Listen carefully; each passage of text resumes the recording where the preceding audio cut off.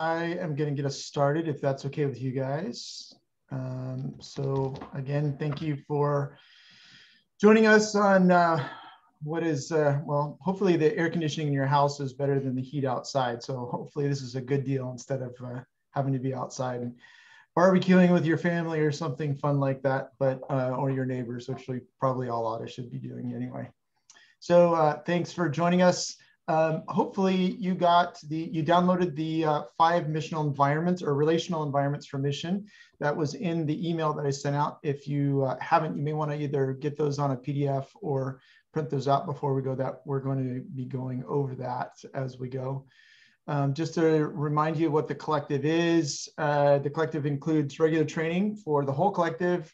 Um, we hope to get some retreats and seminars in here. Uh, it's for not only your individual congregation, but also for, um, it's for each individual congregation to be training with their pastors and their leadership. So we want your leadership teams to join us when we can. Um, it's offered as a benefit to SoCal congregations free of charge, but it's not just limited to SoCal. So if you have some uh, other churches that you'd like to, that may be interested in joining us, let us know about that. We can talk about that as well. Um, I think everybody's here part of it, so we don't have to worry about that as well just to let you know a little bit about SoCal, ed, or SoCal etiquette, Zoom etiquette. Uh, if you would, it would be helpful if you could change your name so that at least has your name, maybe part of your congregation of the city you're in. That will help Todd to get to know you a little better if he doesn't know you already. Um, in terms of audio courtesies, unless you're speaking, uh, go ahead and mute your mic to prevent any sound interference. We are going to record this, so if there's other people on your staff that you'd like to have watched this later, um, we'll post it on our SoCal site. But also, in addition to that, um, what happens when the speaker is speaking and somebody else coughs, the camera switches with Zoom. So it would be helpful if you um, would mute your mic. Same is true of your video camera. If you have to get up and grab some food or uh, go uh, you know, I've had people sitting right in the camera with their bowl of cereal in the mornings, you know, munching off in the camera. And so that can be a little distracting. So if you can mute yourself, if you got to get up or especially if you have to turn around and pull up your zipper or something like that, make sure your camera's off. So that would be helpful. Uh, go ahead and open up the chat room. We'll be putting some stuff over there throughout the night if things come up. So we'll be posting comments over there. You can ask questions. You can use that as well, or you can digitally raise your hands using the reactions button that's on you on there. And then uh, depending on what your device, your device you're using, um, we can uh, unmute you or ask you to unmute yourself. Um, that is it on that stuff. Our next training, we try to do this quarterly um, as a group. Individually, your congregation can be doing stuff. Hopefully you're getting the one-on-one -on -one coaching with Todd and then also with your leadership team. So make sure you're taking advantage of that. But our next one is gonna be in September. Um, the reason we're pushing it off until September is because, of course, we have the triennial this summer, which is focusing on hospitality. And uh, we'll be um, doing some stuff here locally with SoCal to bring everybody together. So um, that's one of the reasons why we're talking about the topics tonight. Todd and I talked about it and the theme of the triennial. And so when we talk about five uh, relational environments for mission, that's one of the topics that would fit into that. So we're going to kind of do a pre-conversation as we uh, head into the um, triennial. Any qu questions before we start? Nope. All right, and uh, let me pray, and then um, we'll turn it over to Todd. Father, uh, so grateful for the opportunity to gather tonight, for the technology that allows us all to skip the commutes and uh, just be in and be out and be back with our families so quickly.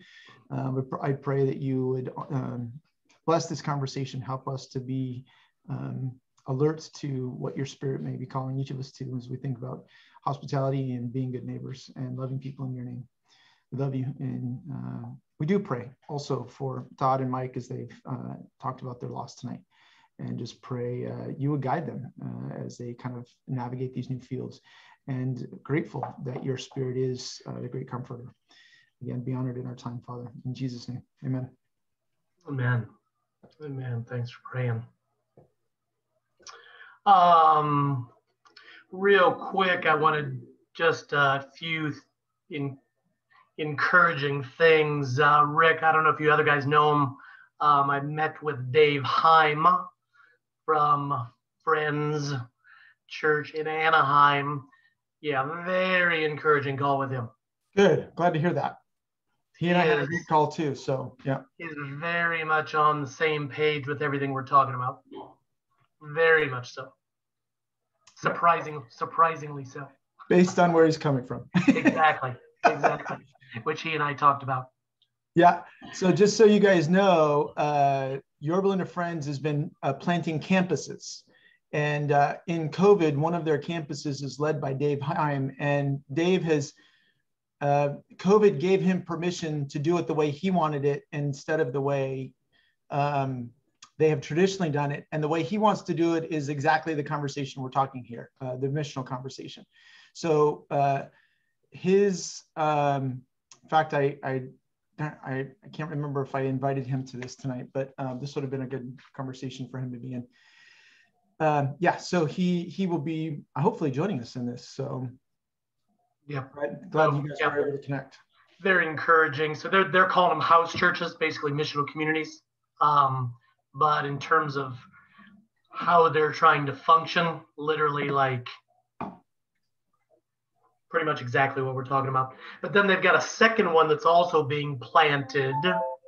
Um, do you remember what that town was called? It's out uh, by it's not as far as Riverside. It's more out by Ontario, in that area. Eastvale? Yeah, Yeah. Something. So like there's another one also planting, um, and again similar planting, basically planting missional communities. So interesting to see how that's going to play out, because those two plants are planting in such a different fashion than the mothership. Um, but it's a great example of what's possible actually I, i've actually encouraged a bunch of existing churches in the past they'll say is it really possible to transition this 80 year old church or this 50 year old church? And i think i think it is possible if a lot of things line up. But i said if you don't have those circumstances to make it possible one good option is that you would plant a healthy group of people out from there and just support the heck out of it and then see how it might bleed back into the mother church and it, it's not going to probably totally you know transition the mother but if it can get the mother church halfway there wow is that a big win yeah. or even 25% of the way there. Wow, is that a big win? And so, um, so I've, I've seen churches actually uh, basically do that as well. Um, so, so anyway, there it- it's either going to affect the big mother church in Yorba Linda, or they'll get cooked, or they'll get kicked out. and um, uh, I didn't still be totally fine and um because they won't get kicked out i think until they're in a sustainable place anyway. So they'll be able to they'll be fine. They'll be able to continue on. Anyway one other thing one other encouragement um i don't know how much you guys work internationally but um i that's how i get to spend about 60% of my time probably there is so much cool stuff happening um in different different places um, despite COVID. I mean, in the last 10 days, I've been in, on very encouraging calls with churches in Italy and Spain and Estonia um, and South Africa and England and Wales and Ireland. It's just in the last 10 days. And these churches, and again, many of them coming out of traditional formation, you could say, traditional denominations, or and um, they're just doing great stuff. Um, and you know, you hear Italy, Spain, that, that's very hard spiritual soil. And yet, despite the hard spiritual soil, despite their traditional formation, despite COVID, um, things are really changing in how churches approach discipleship and mission. Um, so anyway, just to encourage you all, however you're feeling about things locally or things around you in your city, um, lot of lot of beautiful stuff happening out there. So for tonight, actually, I was gonna let you guys um, basically lead in a sense. Rick and I talked about two big themes. The one coming up with your triennial this summer based on hospitality. So, what does hospitality look like in a missional community or, you know, in a, yeah, basically missional community house church setting? But then that's why when he and I started talking about that, I was like, those five relational environments for mission would really fit well in here. Just for you to think about how you can give your people those categories to think about hospitality and, and mission and spending time with lost people. Um, different P, I'll, I'll just give this as a little intro, but then I want you guys to comment, ask questions, basically lead the conversation in that way so that we stay very practical and very specific to your context. But the big idea there is a lot of non-Christians out there, obviously different different personality, different story, different circumstances, different family dynamics. They are going to be influenced at different times by different types of relationships. That's what we're getting there, getting at there. But many times churches will kind of, I would say, overemphasize one or two of those things rather than thinking about a combination of those things, a complementary, you know, complementary working of those things. And um, I, I think our churches are going to be much weaker if we do that. They're going to be much stronger if our people, again, are working together in their communities to, to create these different types of relational environments. Because you're going to have some non-Christian neighbors or coworkers or families from, you know, kids' school. You're going to have some that that like to as a first step or as first steps like to come into big anonymous environments they don't want to be asked a lot of questions they don't want to be put on the spot. They want to come into a big anonymous environment and just check it out.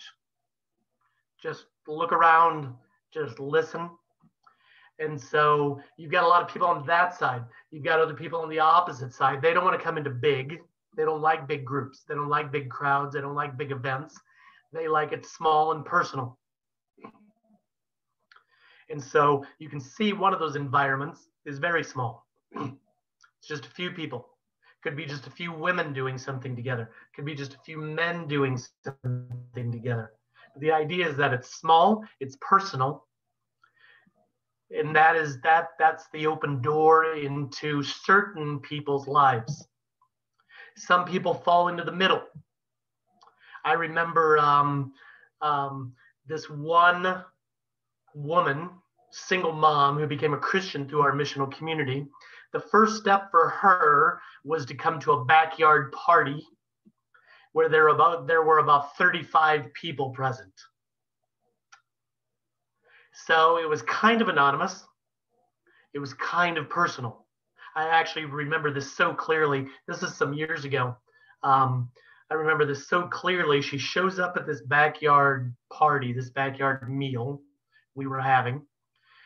35 people there, probably 15 of them or so were non Christians. But the goal of the night was just to eat, play some cornhole. There was some music on. So basically, eat, have fun, build relationship. Because we knew, you know, 15 non Christians there. The goal was just to love them well and to introduce them to other Christians. So she shows up, and I remember meeting her. I met her right right on the steps of the the deck, wooden deck, and um, really quickly she was like, again, this is the first time I've ever met her. But literally within probably five minutes into getting to know her, she's like looking around and she was like, "This, this is different." um, she was like, this is cool. look, you've got all these people enjoying each other, enjoying food, enjoying the music, enjoying the cornhole, um, the games we were playing. She was like, "This is, uh, I look, I love this." She said. She said, "Do you guys do anything else? What, like, what is this?" And I told her, "It's like, well, we've got a few of these groups of people that live a lot of life together like this. Actually, we eat a lot of meals together, throw a lot of parties together. So we actually do this quite often." She's like, "Really? Can I come to something else?" it's like you doing anything in you doing anything in the next few weeks that I could come to? And I was like, well, yeah, every other week we do like a we do like a meal night. It's with a smaller group of people, maybe 10 or 12. So basically she asked if she could come to our missional community. That party was actually a party with like three missional communities doing the party together.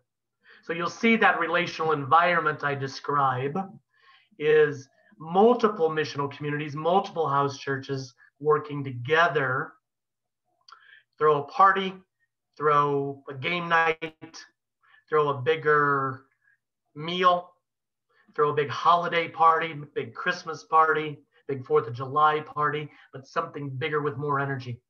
But that first step was so key for her. And then, sure enough, she showed up two weeks later to our missional community, and the rest is history.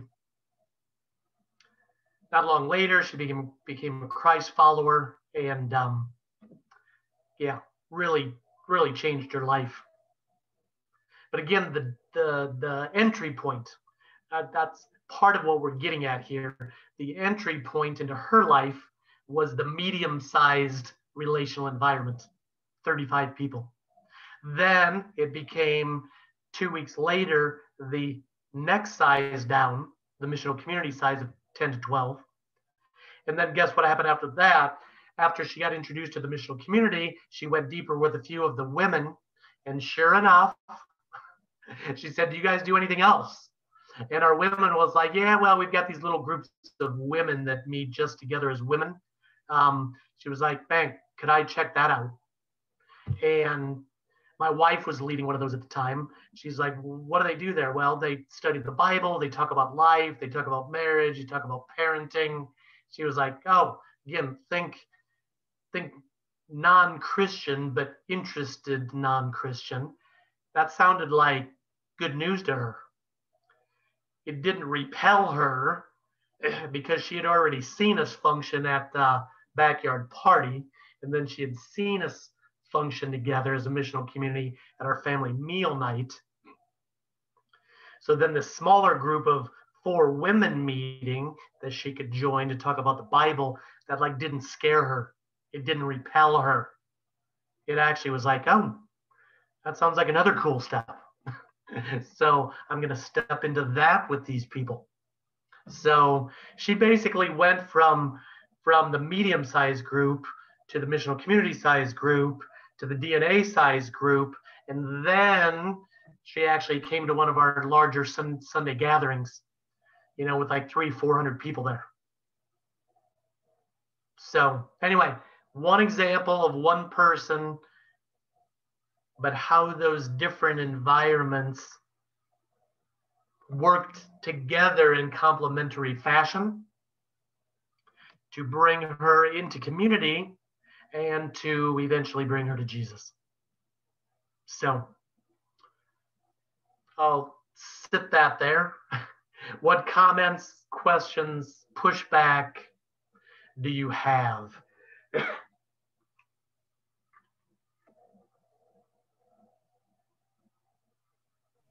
Todd, how did she get to that first gathering again? Uh, was, was, she invited by uh, just one of the people in, in the missional community just we have this going on, come and come and join us. Yep, public school teacher invited by another Christian public school teacher.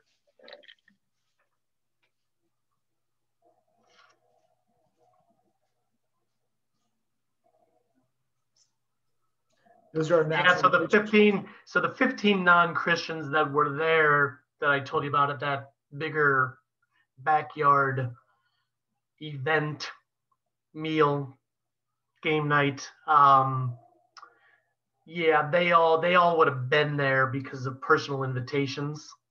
They were either neighbors, coworkers, families from school. Was that a with kids event?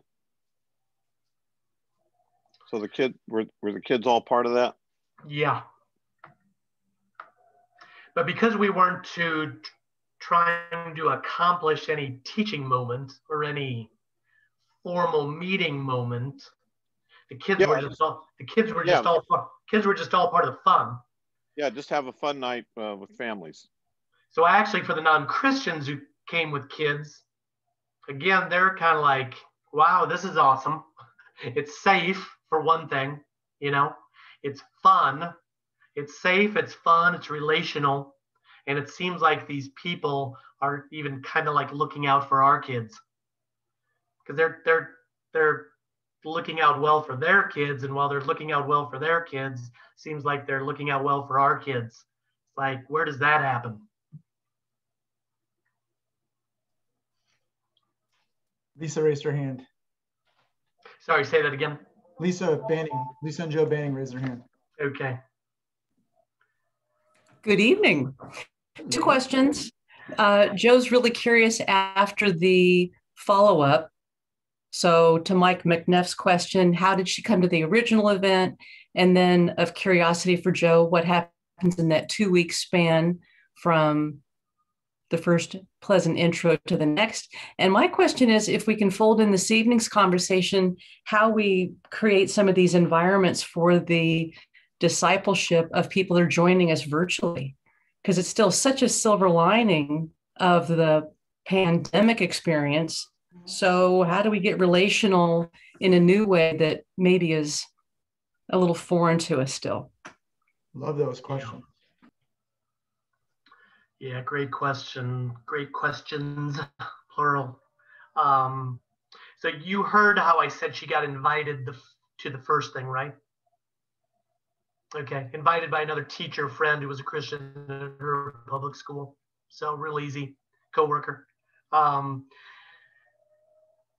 so again, when, when your communities start to function like this consistently, it all works together and it all potentially builds on each other. So you can imagine she gets invited to that party, that meal by this teacher. What do you think they're going to do the next day in the teacher's lounge? What, what are they likely to do? Well, sure. If it's if it's purposeful and the mission is well articulated, they're adding up what worked and the pleasant surprises the gal experienced. And the next entree is sharing the gospel for the gal that invited her. So again, as we're training our people to live this way, that public school teacher is a Christian. She knows, she understands relationship, she understands intentionality. And so the next day at school in the teacher's lounge, she's saying, What what'd you think of that last night? How, how'd you feel there? Oh man, I felt great. People approached me, had genuine conversation with me, asked me some good questions, loved it.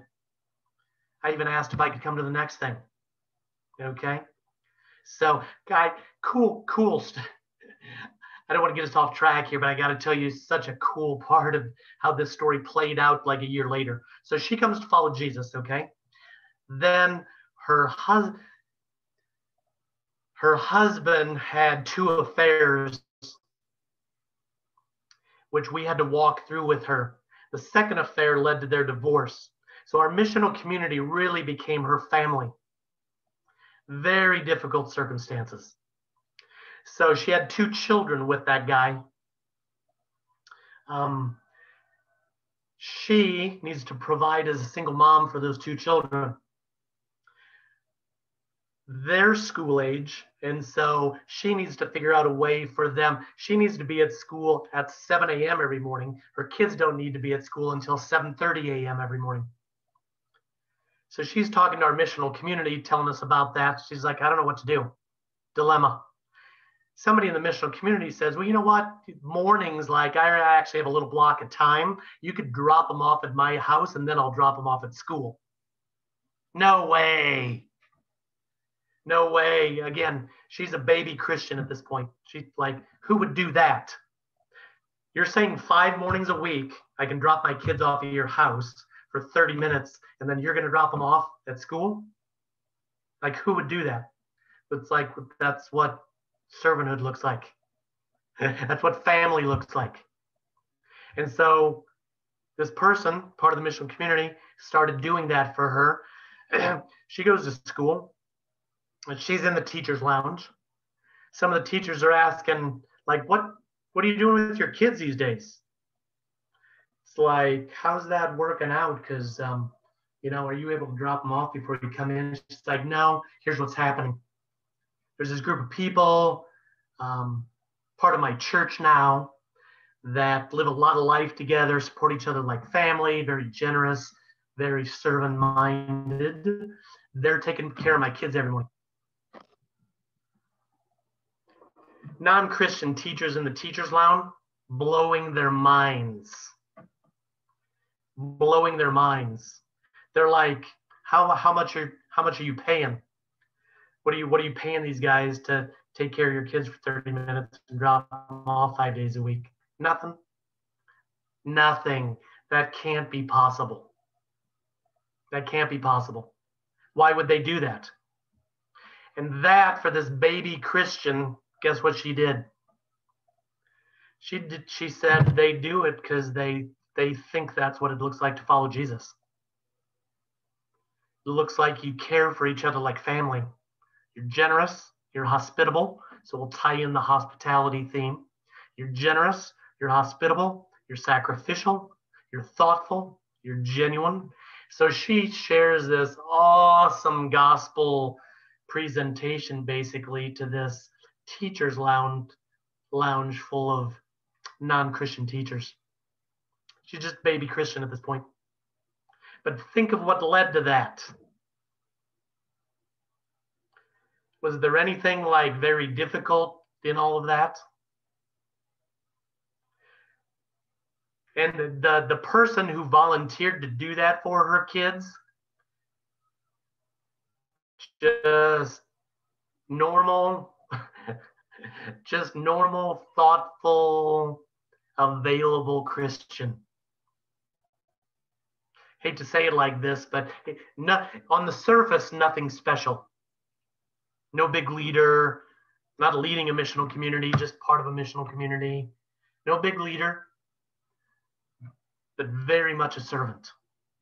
Very much ready, available to love this single mom now, like family. Powerful, powerful. So, anyway, that was a little bit of a side note, but it's so good because of how the missional community came around her in the middle of those two affairs. And in, then in the middle of that divorce, and basically took her in like family, cared for her kids like family, helped take care of her house I was over there multiple times mowing her yard because she didn't have a mower. And her grass was about a foot high. It's what you do for family. It's what you do. Mow, mow grass and we painted painted her 10 year old daughter's bedroom purple. It was like I had a hard time. I like to paint, but I like to paint certain colors in a certain way. It was hard for me to paint purple on those walls. But the whole time it's just like, this is what it looks like to love that 11 year old or that 10 year old girl. This is what it looks like to love this single mom in this moment. Paint this god awful color on this wall. So, so what else? do, that second question she asked, I think, is relevant too. Do you want to address that now, or do you want to save that for later in terms of discipleship in a digital world?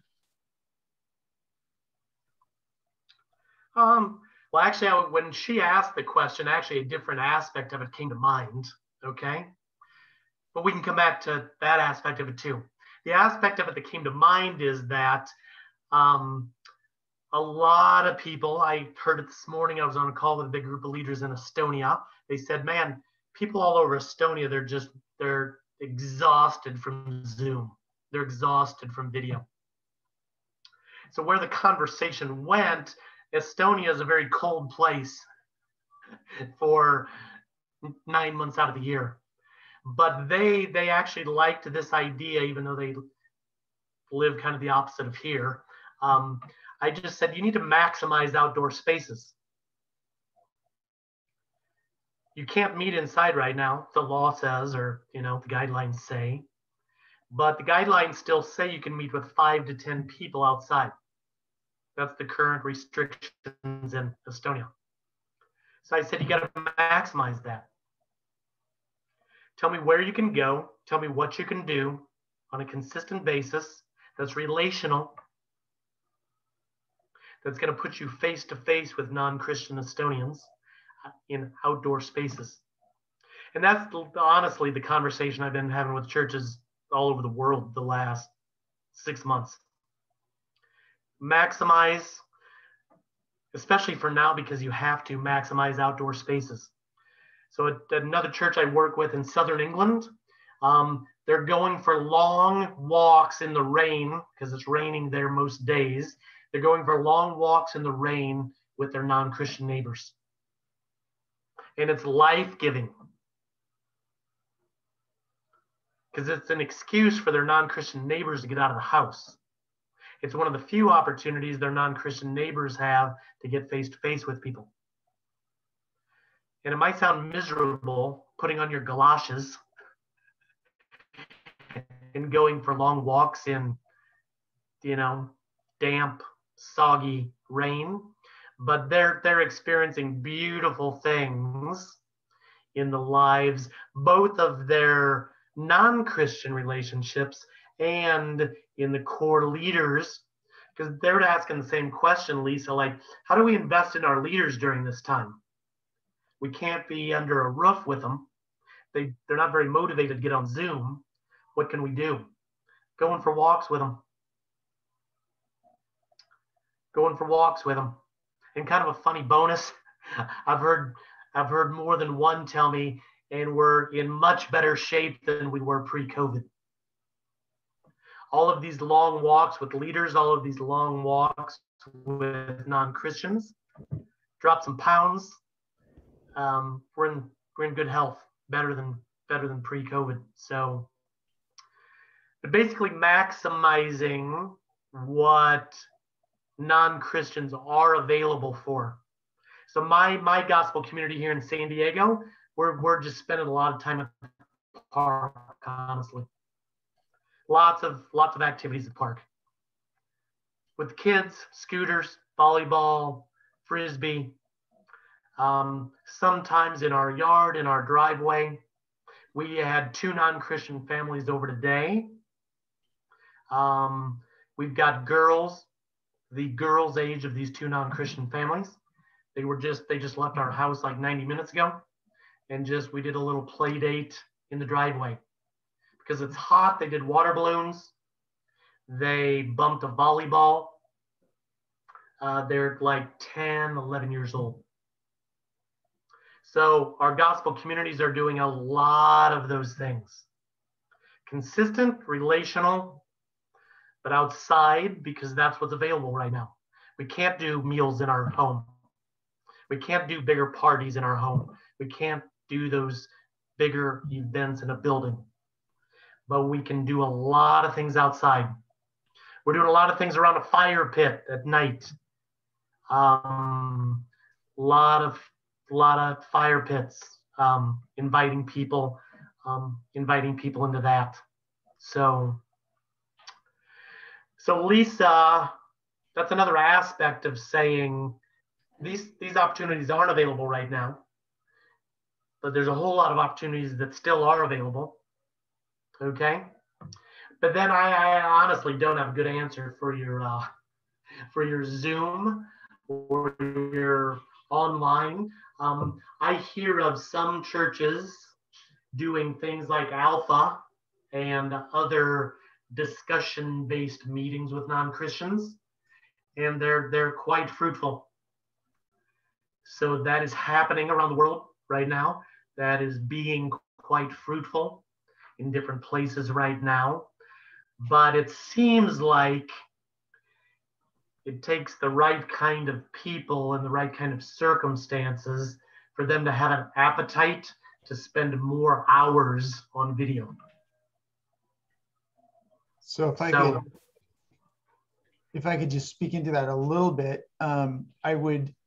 Uh, we have found, yes, everybody's got Zoom fatigue, but uh, nobody wants to get into the uh, Southern California traffic either. So there is, uh, if you've got to drive 20 minutes, a half an hour to get to your small group meeting or your discipleship meeting or stuff like that, then um, that makes it a little more difficult. Plus, you know, if you've got a congregation with a lot of young families, your time limit, your your time is limited. So my my DNA group, for example, we have a uh, a guy with rhabdomyolysis, however you say that, and he has because of that he has serious like he's exhausted. He can't do a whole lot. Uh, he's got two young kids. One just was born last January, uh, right before COVID started um, he is uh, making his whole life is getting to his doctors and, and back. His body is eating itself. I mean, this guy's firefighter, you know, big muscles, tattoos all over himself before this happened, and his body's wasting away. So, but he lives for. I mean, he's the first guy to say, "Hey, are we meeting this week?" And um, we, he can't meet in person, and so he's one of the ones. And then uh, amazingly enough, my group is pretty scattered anyway. So everybody's going to be driving 10 or 15 minutes to get to get to each other. So it allows us to be able to, when we start, we jump in, there's no travel time. You know, we're not spending 40 minutes, 50 minutes getting to or from. It's not late at night on the roads and stuff like that. So there's a little bit of, we're finding that with a lot of our groups. We started telling some of our DNA groups, you can start meeting in person. And some of them are like, but it's a, it's more convenient this way. uh, so and we also have some of our long distance folks. We have a, an elderly woman in Nevada discipling two young girls. One is in Santa Barbara, the other one's in Phoenix, Arizona. And so it's created opportunities that way. Those are our DNA groups. That's different than our communities. The communities, again, you're going to want to have a little bit more of that social time. It's harder to invite a non-believer into that, but we had, you know, we've done everything from, uh, we had a Passover Seder and had a Jewish lady jump on. And my goodness, she took over in a very God orchestrated way in terms of like asking questions about, you know, this is what I grew up with, but I didn't know, I thought Jesus was a Christian. I didn't know he was Jewish.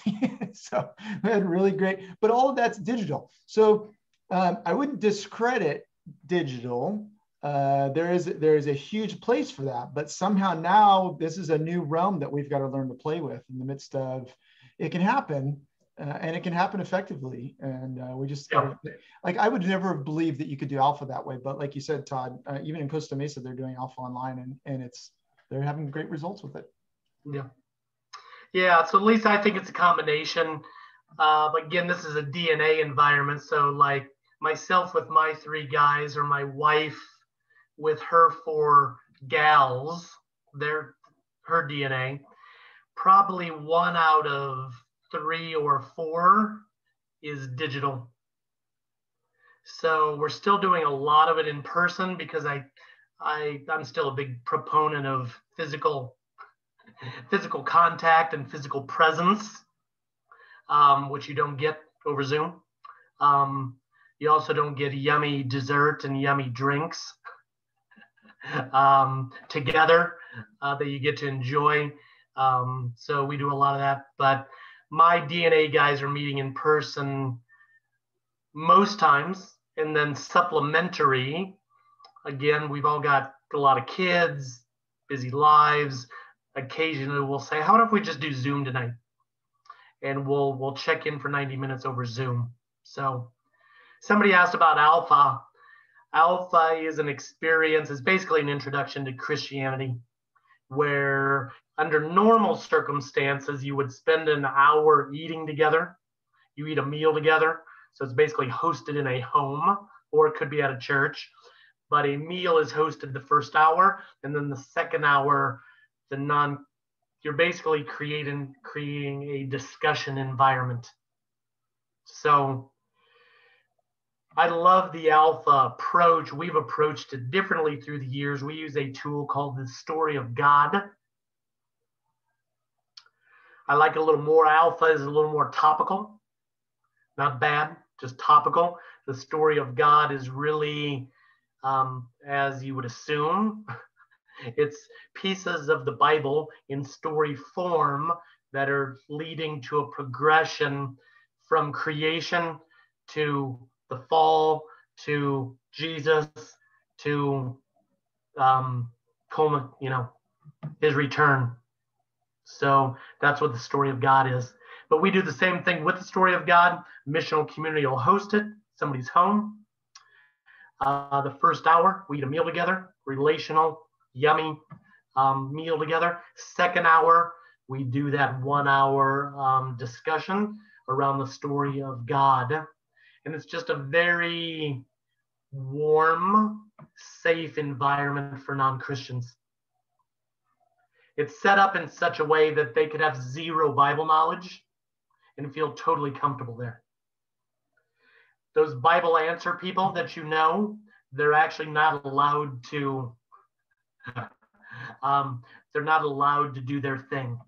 They're not allowed to be the Bible answer people. It, it's set up in such a way that you can only answer any of the questions from the piece of the story that night. You can't bring any extra training, education, biblical sources. you can't bring anything else into it. So it's it, it it's awesome. We've we've actually used it all over the world, and um, tons of fruit, tons of fruit from using the story of God with non-Christians. It's on my site. There's two versions of it. Um, and there's actually a um, story of God for kids version that I could send you if you're interested. Very cool. We've gone through parts of it with our kids at different times. But um, the story of God is on our my site in two different forms: a 10-part version and a four-part version. The idea with the four-part version is certain Christians or, non-Christians you're going to invite into it, they're not going to hang around for 10. They're not going to hang around for 10 meetings, but they will commit to four meetings. But you'll get some longer term relationships with non Christians where they would commit to 10 meetings. I think Alpha usually goes like eight, six or eight. So Good stuff. Good questions. What else? What what's on your minds? What are you thinking about for your when you think of those five environments, I'm curious, think about your Orange County environment. Which of those would you, if you had to like rate them, which would you say are more effective or more common? Which would you say are le- less effective, less common? What do you think? Well, and, and maybe which ones your congregation does well or doesn't do well. Good.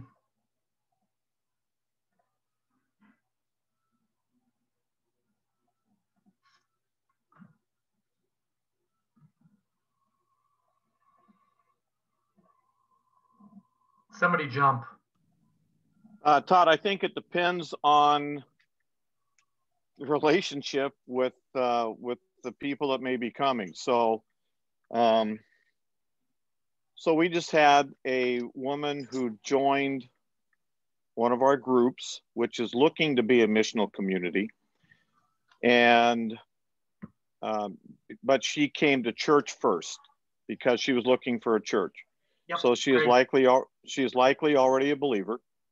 Um, so she was looking for a place to connect in. So obviously for her, coming to the larger group was was a good entry point. That's not going to be the best entry point for people. So if you're talking of a te- you know a, a friend of a teacher at school, um, the best entry point is exactly what you described. Um, so so again, I, I think um, you know if it's if it's somebody looking for a church probably the larger setting is going to be good because they can come, and if they like it, then they'll they'll seek somebody out to find out more. Um, that same person, or or if there's a person with no no church background and no relationship, I think a smaller group is going to be a lot more intimidating for them. Not likely to come if there's no relationship because they can't they can't be uh, anonymous there. Yeah. So uh, again, I think uh, so. Whatever stage they are in the relationship with the people that they're there is probably going to determine that. Good, great comments. As you said that, Mike, I was thinking of another non-Christian. Let me tell you about her journey in the five steps quick. So went to high school with a Christian, she's not a Christian, went to high school with a Christian friend, lost contact with each other, reconnected through some crazy way. They, they realized they ran into each other somewhere at a park or something, found out they lived like five blocks from each other, hadn't seen each other for 10 years.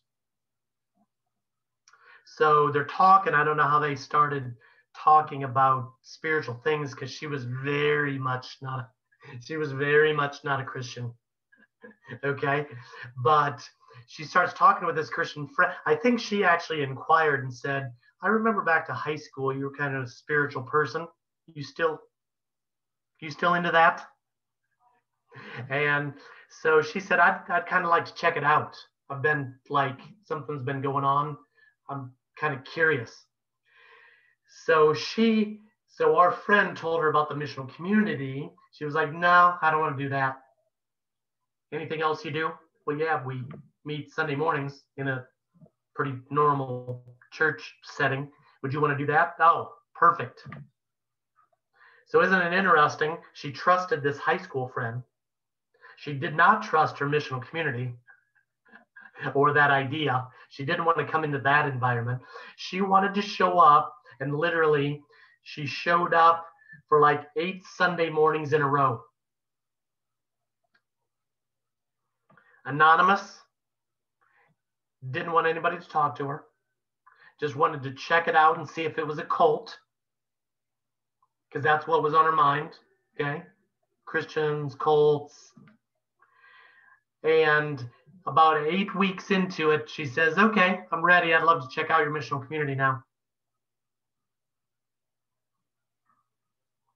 So she went, individual high school friend, Sunday morning gathering, missional community meal, and then just like that other single mom I told you about, she heard about the DNA idea and studying the Bible, jumped into it. First night at this women's DNA, I mean, brings chills when I think about it. They basically hand her a Bible so she can see what they're reading. She said, first, first time I've ever seen one of these. First, first time I've ever had one in my hands.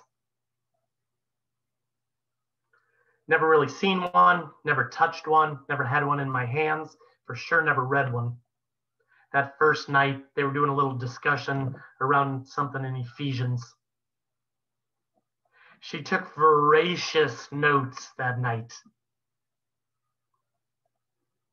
And then she became a Christian about three months later.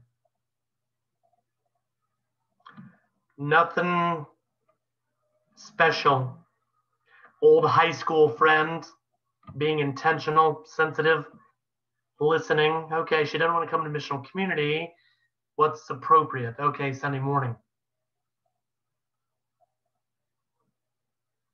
So yeah, Mike, it's going to depend on stage of spiritual interest. Also personality, though, a lot of it. Personality, where people feel safe, comfortable, kinds of environments they feel cared for. So yeah, I, I think that was you commenting, Rick, that's the real hospitality question right there.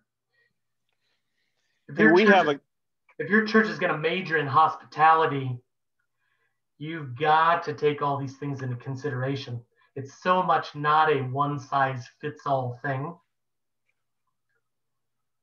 You've got neighbors and they're all different. And their love languages are all different. and what they like to do and how they think, how where they grew up, what their family dynamic is, all different. You've got to be sensitive to those things. Say, what kind of environments can we create that is going to serve them well, love them well, help us get into their story? Sometimes it's going to be two or three women together. Sometimes it's going to be a mixed group around a meal. Sometimes it's going to be a little larger group at the park. Sometimes it's going to be a larger group at a birthday party or a holiday party. But it's all of those combination of things usually working together. So that's how I personally, you can disagree with me, that's how I would define biblical hospitality.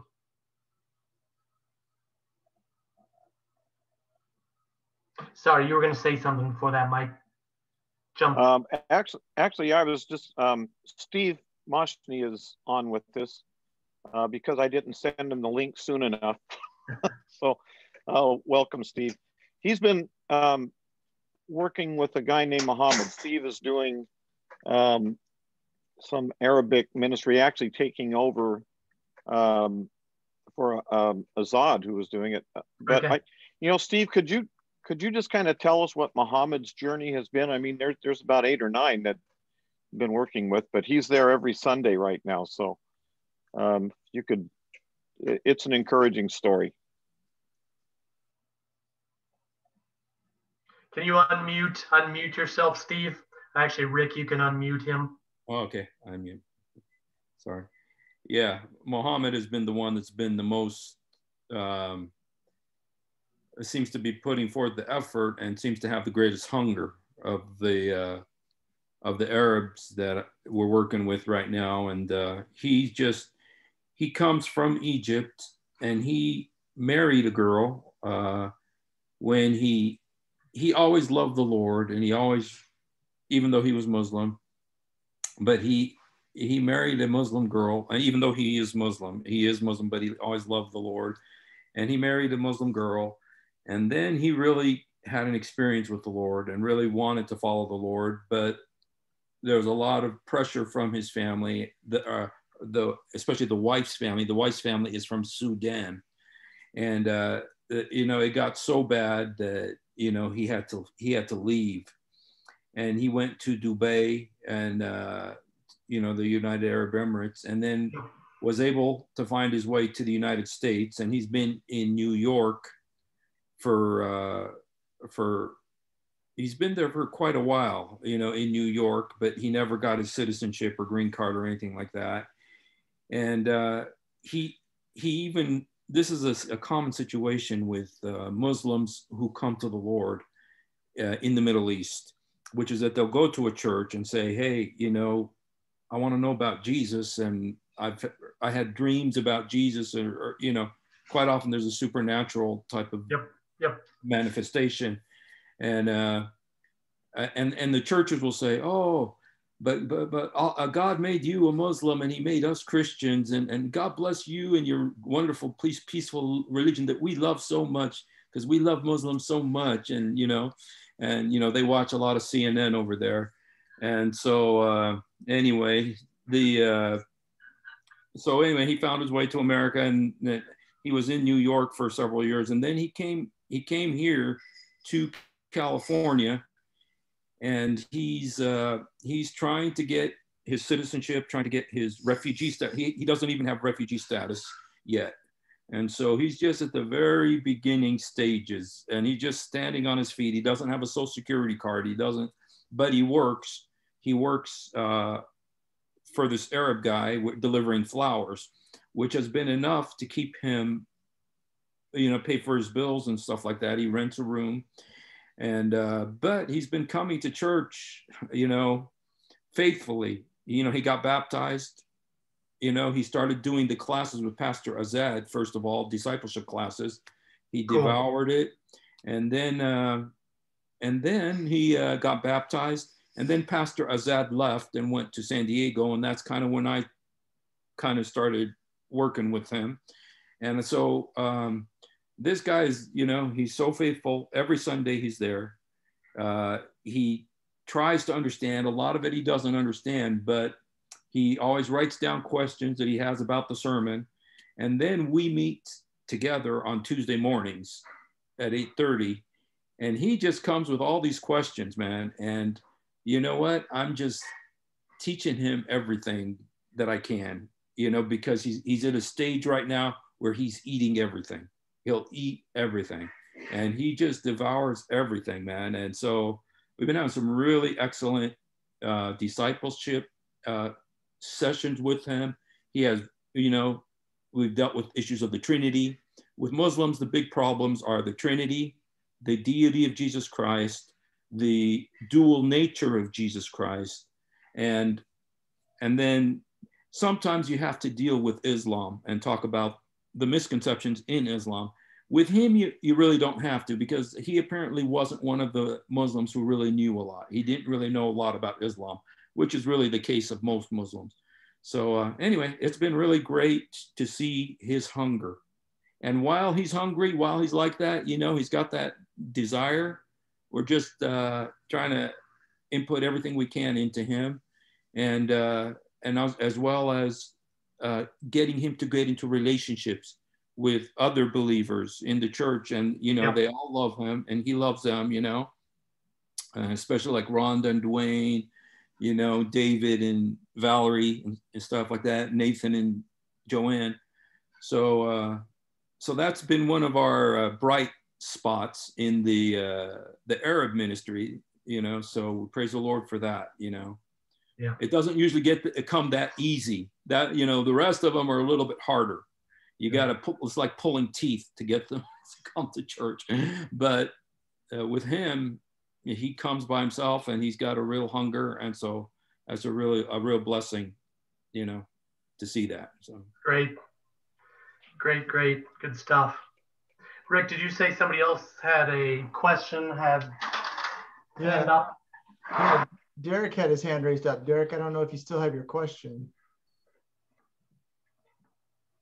I was really not a question, but it was kind of more of a statement about, you know, seeing this from the perspective of these multiple gatherings and the entry point, and it just seems like having all of them collectively gives you the opportunity to bring somebody in that might be more, you know, ready for a small, intimate conversation and then move them into a larger group too because you know they need that. They need to eventually experience a larger family gathering you know and that that that feeling and vice versa.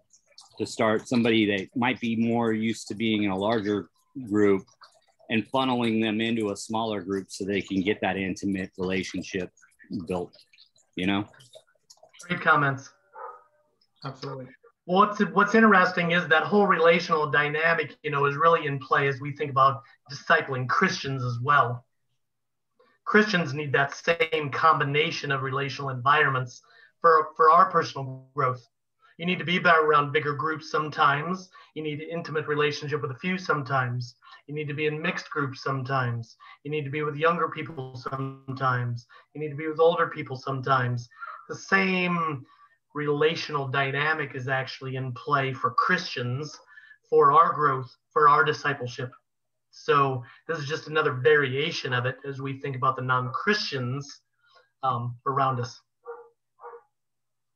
I would go back to to the question about the kids because kids can fit into just about all of these levels except like the one-on-one and the smaller DNA groups because um, one of one of my favorite experiences for our community was we had a guy show up that uh, clearly had been living the rough side of life for a while. And uh, we had a night it was just a game night around the table and all of the teenagers around the table we're playing games we played really late. He and uh, the person he came with and, and her daughter were the last ones to leave that night. And uh, they left. And the next day, we heard they'd gone to visit another family that was in our community, and the family came back and said, uh, "This guy has never been and had never had a good time without it involving drugs or alcohol." So that he sat around with a bunch of teenagers playing games until late one night on a Friday was a completely new experience for him. and uh, you know the conversations were mostly with the adults and stuff like that but uh, the kids became part of that you know that environment they were part of the key to to that being a good night for him cool. Well actually interesting you bring up the kids thing too i would say you know with those different environments that you're that you just you know were commenting on some of those can be organized in such a way that kids are being cared for at home or another so that actually you don't have the kid distraction if you're trying to do something have a certain conversation that is going to benefit from not having kids present does that make sense so sometimes like i said my wife uh, my wife's an evangelist so she's doing relational stuff with non-Christian women all the time. One of the things she likes to do, she organizes these jewelry making nights. She'll just get some supplies and they're not very expensive and they'll make these cool earrings and they'll spend they'll spend a couple hours doing that. They'll have something yummy to eat while they're making the earrings. But what do you think they're doing for 2 hours? Talking. building deep building deep relationship with each other. Okay? But the point is, um, I'm babysitting the kids, and the other dads are babysitting the kids. So these women can have this awesome two, two and a half hours together, undistracted, no kids coming in saying, Mommy, I need this. Or um, so the men are taking the child care off of the, you know, um, taking child care off of them so that so that they can be making these relation these deep relational investments into the lives of these non-christian women while they are eating dessert and making earrings so same we we do the other thing the other direction where the women will you know just say man we want you guys to go out and do a guy thing and you're going to invite some of your non-christian guy friends and you're going to do something guys like to do. Don't worry about the kids. We're freeing you up. Um, stay out late because we know you're going to be intentional and relationally invest in these other men. But Derek, to your point, so I think everybody's seeing the potential here, and uh, I think everybody's getting that but you got to say, okay, how are we going to train our churches? How are we going to train our people to organize their lives that way? How are we going to train our people to organize their small groups or their community groups that way? That's the challenge. So, one of the things I wrote down as somebody was talking, I said, no surprise, you have to help your people learn how to plan their lives, plan their schedules, plan their groups in this way. It ain't just going to happen. You can't just talk about it and expect it uh, happen magically. Yes, you do need to talk about the why behind it. And then you need to talk about the how behind it. But then the most important work is you helping your people actually figure out how to plan their busy lives around it. Because that's the challenge in the American church today. I, I get nauseated because I hear it with the job I do working with different churches in so many different places, day in and day out. How do you get your people to live on mission when they're living their busy lives? It's exhausting answering that question. And you, you guys have heard me talk about it before, so I'm not even going to answer it. I'm not even going to answer that again right now. But I have found with there's no way the average American Christian pursuing the, the American dream in Orange County, there's no way they're going to live their life with more intentionality if you don't hold their hand at some point and help them think about how to plan their schedule intentionally. Ain't gonna happen doesn't come intuitively to most people.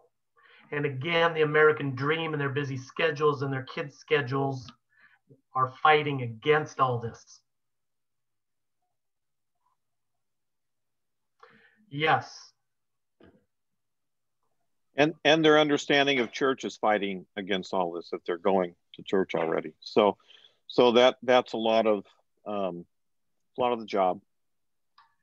Yep. Good so I'll, I'll, be, yeah, so churches are the ones keeping them the busiest sometimes.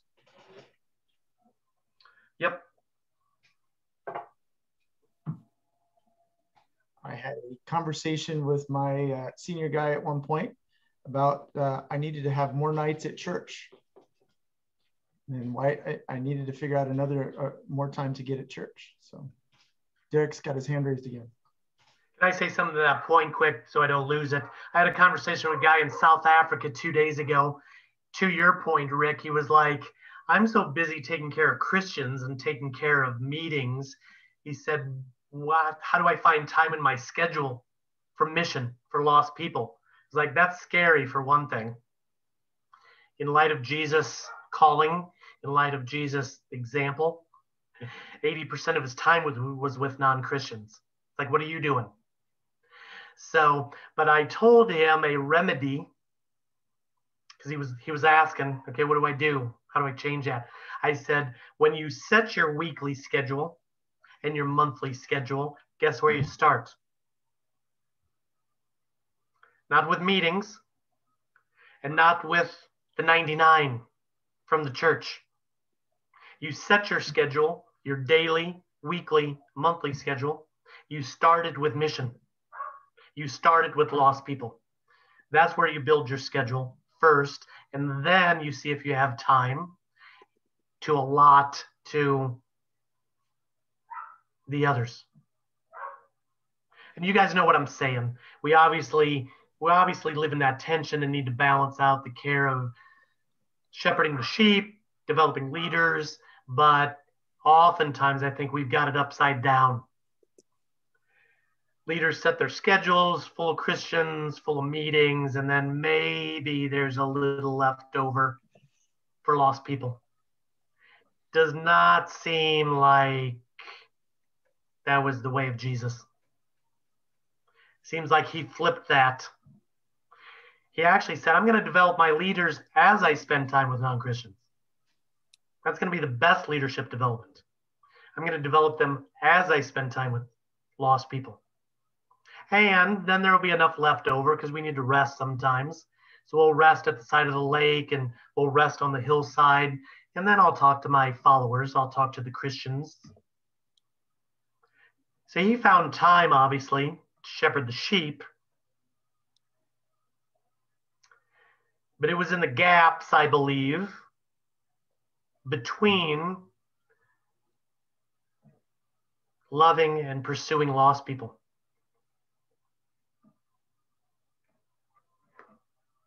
Does anybody hate me after that comment? Derek's got his hand up still. Sorry, go ahead, Derek. Yeah, I was just gonna, you know, maybe pull into that conversation too. And you know, one thing that stands out to me is is these large, big events. And you mentioned something earlier about having multiple churches coming together to create these large events. And it, it just multiple small groups coming together. Or more or multiple small groups. I mean from i guess i'm looking at it from a perspective of you know our church palm harvest is a is a is a very small congregation. So you know in essence it would it would almost be beneficial to have other small groups from other churches gather together to make a large large event to bring in multiple people from all over the place and, and create that really you know open environment for people to be at. Absolutely. Absolutely. You could do that. You could do that.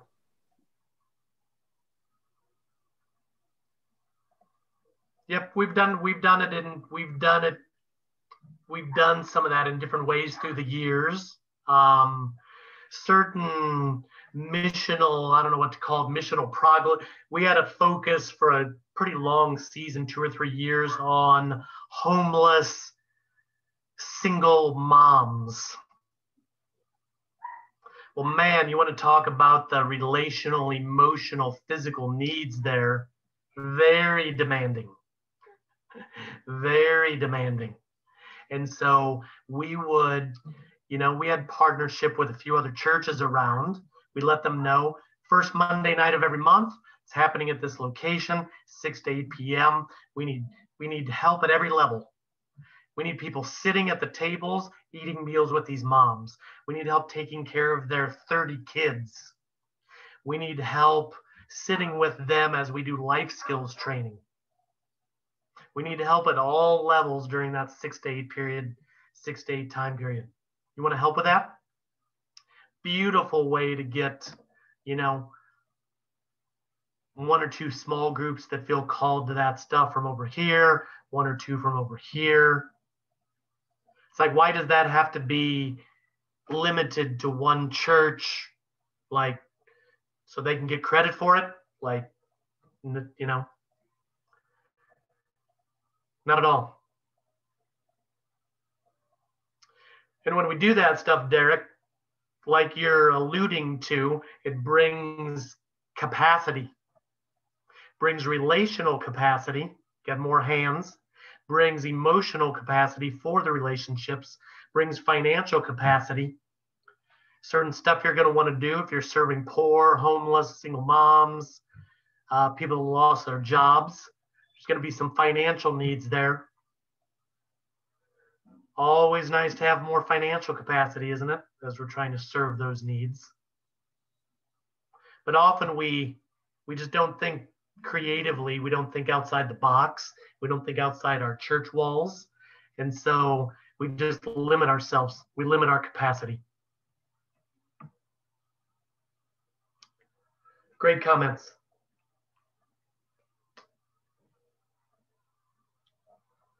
Andy Chung, is he out there? Does he have any thoughts?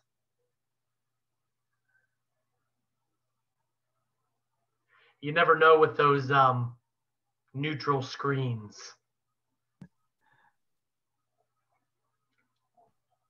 He's actually in his pajamas and doesn't want to show himself. He has a newborn, so uh, I think he's trying to be kind to us in case the baby decides to. That's fair. Hey, Todd, I'll be meeting with one of our groups here in the next couple of weeks that have, they've already made it, it's a, it's a group actually that Steve was referring to and he's been a part of. And um, we are looking to this group to be, um, to be really our first well-defined missional community. So we have, we have a number of groups meeting and they're, they're into it. Um, so this is probably a coaching question and, and uh, so if it gets too much, especially at this point, then you and I can can maybe uh, talk later before I would meet with them. But uh, they're looking at yeah, they're looking at what are what are the irreducible um, uh, factors of of a missional community, the, the things that must be in place in order uh, to do it. Again, I, I see a lot of the stuff there already. What what it seems like they're missing to me is uh, is having the kind of events that you kind of uh, began with tonight, and that is um, just a, a fun night where they have already um, introduced some some people to. So in other words, uh, uh an event where they would bring people entry point and and just for fun. So an entry, yeah, an entry point for that group. They're doing a lot of um, things that would help to meet neighbors and things like that. But I, it seems like they haven't yet um, said this is who we're going after uh, for this next six months. So, if you could, five minutes or less, um, say here here are some of the irreducible things in order for for them to get off the ground. The irreducibles that are always talk about, I'll just say, I'll limit it to four things. I could expand on a few of them, but the first one is um, shared leadership. And again, you've heard me talk about these things before, Mike. So, shared leadership, we can't live in this way in a sustainable we can't live in a sustainable way. We can't do these things in a sustainable way alone or with one or two people. healthy missional communities got to have strong core leadership. I always say minimum of four. This is just based on years and years and years of experience.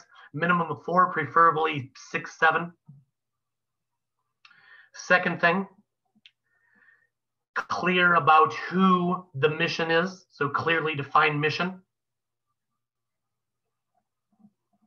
Often groups will bite off this massive thing and say, our vision is the whole neighborhood.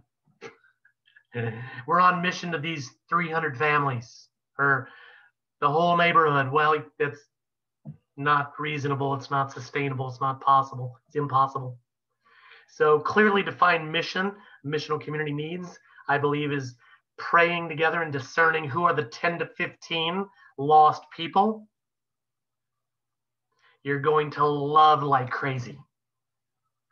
You're going to invite to the little things, the big things, the men things, the female things, the holiday things, the those 10 to 15 people are going to get invited every time you host something and you're going to love them well. You're going to pursue their stories deeply.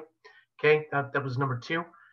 Number three is a plan. I already said it, so this is just reinforcing if you're clear on the mission, who those people are, and how you're going to spend time with them, it needs to take that next critical step to having a clear plan for it to happen. I see so many churches, they have got good intentions. They are good hearted people. They've got good intentions, but it never gets there because it never gets into the specific plans. Serious, I serious, yeah. Number four, um, supernatural.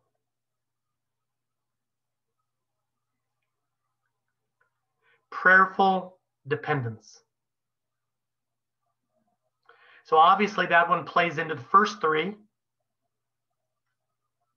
and then plays into everything you do growing out of that. Because as we know, we plant and we water and we pray. And he's the one that leads a single mom to a party. He's the one that gives her the motivation to the next thing. He's the one that gives her the motivation to ask for help with childcare. He's the one that gives her the confidence to talk to other teachers in the teacher's lounge, right? So there's some things here we need to do to create the environment to help cultivate the soil. But the whole thing's got to be wrapped up in prayerful dependence.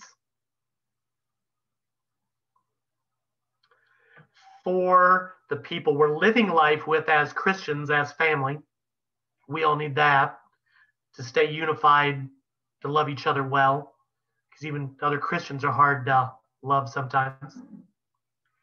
So we need to be prayerful for each other as Christians, as family.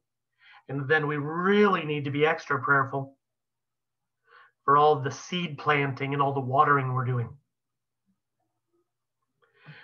But, Mike, when you get clarity about who the mission is, those 10 to 15 people, that clarifies prayer.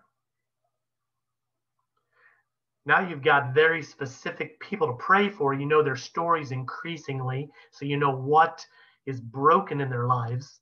You know what their questions are. You know where their unbelief is. So you just increasingly are able to pray for them, I think, better and better. If there's a better way to pray, I think there is actually. I don't think it's bad to pray generally, but I think it's even better to pray specifically for specific people, specific unbelief they have, specific doubts they have. So those are the irreducibles.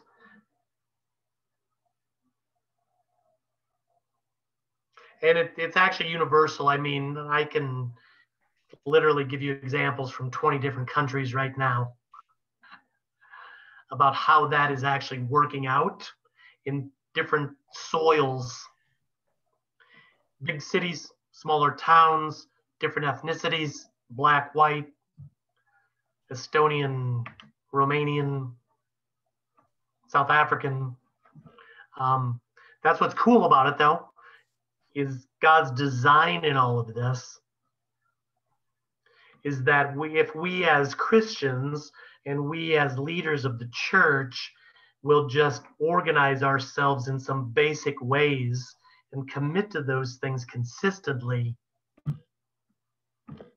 I mean, same thing for you, Steve, with Muslims. There's nothing different here.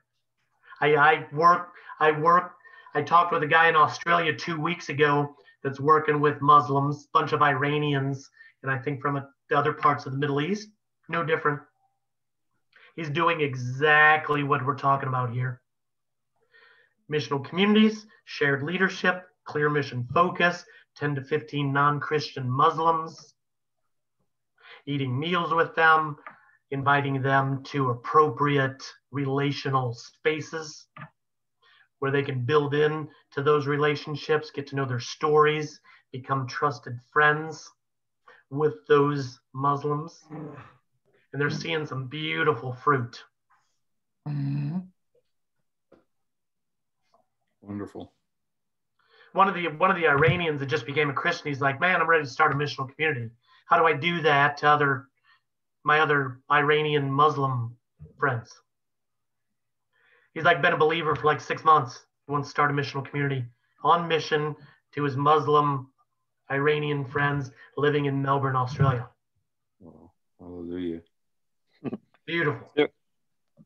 I walked in on Steve's group Friday night. He has a group uh, that he's coming again. Some of these individuals that they've made contacts with, and uh, in in that room there are uh, Palestinians, there are Jews. There, it was, I it blew my mind what Jesus was doing there, and Love it. so it, it is great. Love it. I don't uh, don't want to cut this short, except we have met our hour. So if there's any last minute comments or questions that anybody wants to make that really they feel they have to get off their chest before we hang up with each other, we want to keep our commitment to the time. All right. Well, I would encourage you to take this back to your people, have a simple conversation, and say, what can this look like in our context? That's what I always tell churches. you've got to contextualize. So, Anaheim, Costa Mesa, Irvine, what is the proper contextualized version for these five relational environments?